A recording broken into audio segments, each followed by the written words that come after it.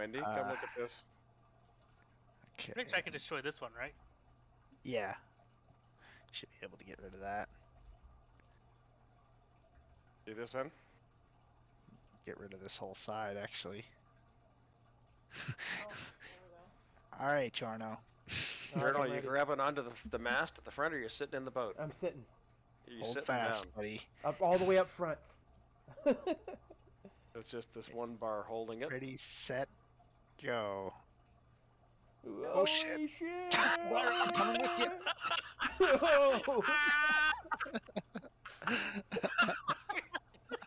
the boat survived. It didn't take much damage.